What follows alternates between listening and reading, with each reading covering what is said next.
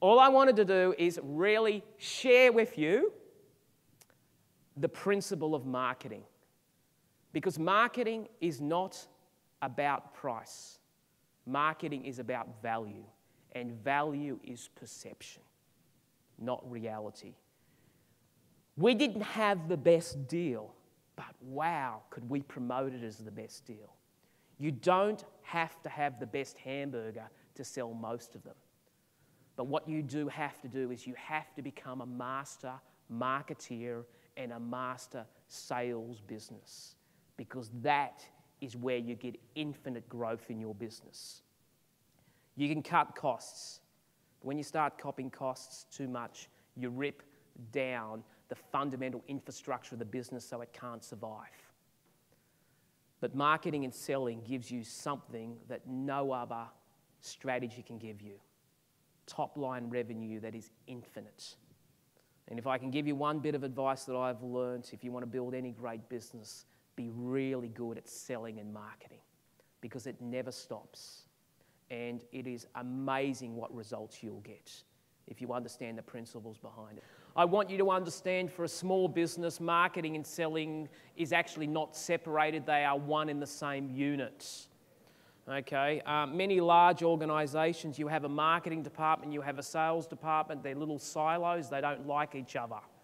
Okay, in a small business, marketing and selling are unified because fundamentally they do different aspects of the same job, and you need to combine marketing and selling together. This is what we're actually going to do. I want to also make sure that you're aware that what I'm about to go through is having dealt with over 10,000 spoken to over 10,000 business people around the world. What I'm about to now give you is not specific to retail. It is very, very adaptable for any business, either B2B service based business or product based businesses. I've used examples, but you'll see during this workshop that is very, very applicable to any business under any eh, circumstance in any environment. First of all, let's try to define what is marketing. Marketing is not advertising. Advertising is a component of marketing. It tends to be the most attractive. And we sometimes get confused saying, I can't do marketing because I have no money. You may have no money for advertising, but there are infinite other marketing strategies that can be applied in business. I'm going to actually target low cost marketing strategies today because I realize that cash is king. And the key to marketing is to reduce the cost of a client. Reduce the cost of a client. Because really, there are only two ways to build a business reduce the cost of acquisition and increase the life of an existing customer. So let's just go to page 98 and try to define what is marketing in a very simplistic way. Marketing is this your business communicating to your target market. So, the first basic assumption is that you actually know who your target market is. One of the most amazing opportunities that you have is that you actually have to become a niche marketeer. Don't be a jack of all trades, master of none. Focus on your target market and be very specific because as soon as you can be specific, you can target your marketing and reduce your costs dramatically. And it's about knowing who your target market is and what you have to offer and whether they will either accept or reject your offer. That's marketing. So it's your business communicating to your target market about what you have to offer and whether they will accept or reject your offer. The role of any business is to solve people's problems. You don't sell, you never sell. You are a problem solver. And fundamentally, if you are selling to a consumer, they have problems. Now, they may not be real problems, they might be problems where they want to feel better. okay, they could be psychological problems. Okay, in a business to business environment, their problem is show me how I can make more money or show me how I can increase my sales. See, you can't prescribe until you've done the diagnosis.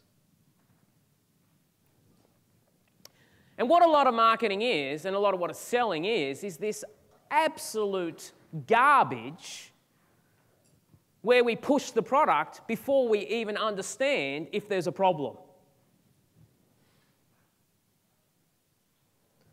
The key to marketing is I've got to establish what the problem is. Then I've got to highlight the problem back to my target audience. I've got to stir them emotionally so they get to a point where they say, How can you help me? All of marketing is, is basically trying to understand what their problem is and positioning it correctly. If you want to be a great marketeer, you've got to understand that you've got to invest in people before they invest in you. Quite simply, you've got to imagine your prospect as being a bit like an ATM machine. And in this wonderful ATM machine, what we sometimes try to do is we always want to make the withdrawal. But you can't make the withdrawal until you've made the deposits. And here's the key the more you deposit, the more you withdraw. Selling and marketing is basically ensuring that you've deposited enough so when you make the withdrawal, you make a major withdrawal. What we sometimes do is we try to withdraw on an emotionally empty bank account. We are considered to be then sleazy, we're considered to be pushy, we're considered to be manipulative. It's like going to a doctor and the doctor actually saying to you, Tony, shut up. I'm just going to prescribe you what I think you need. Now, if a doctor did that to you, you would probably send an email to the Australian Medical Association say, This is not a doctor, it's a quack.